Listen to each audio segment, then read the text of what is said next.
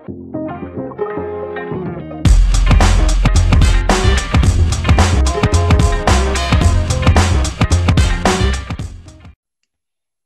adik-adik, soal kali ini kita akan belajar tentang teorema Pythagoras.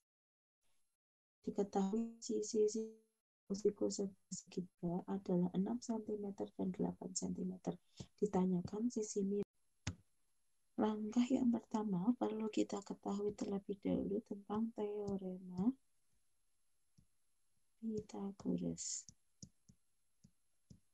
Bunyi teorema Pythagoras adalah sisi miring kuadrat sama dengan jumlah kuadrat sisi lainnya. Nah, pada soal kita gambar lagi segitiganya pada soal kita gambar segitiganya.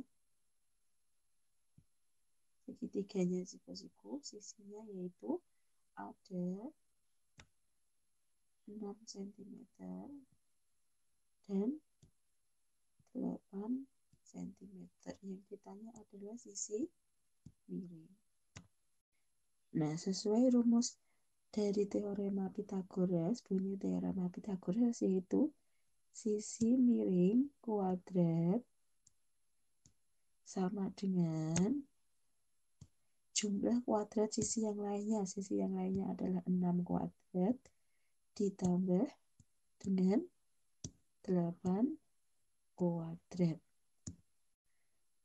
Kita tentukan sisi miring kuadrat sama dengan 6 kuadrat yaitu 36 ditambah 8 kuadrat yaitu 64.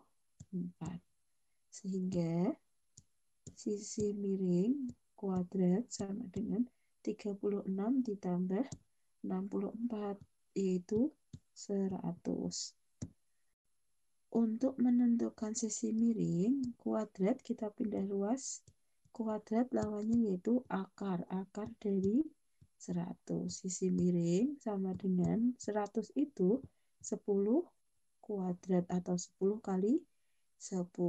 Sisi miring sama dengan akar 10 kuadrat yaitu 10 satuannya sentimeter. Nah, jadi sisi miring ya adalah